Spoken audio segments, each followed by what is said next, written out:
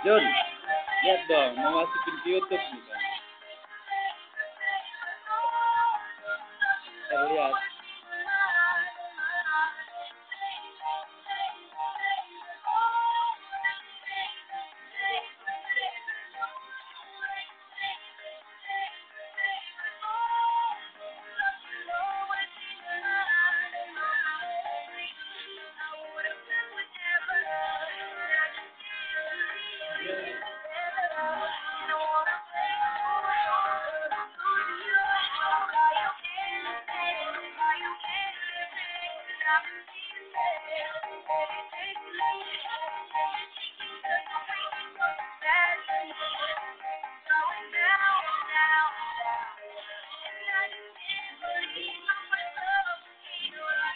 Yeah.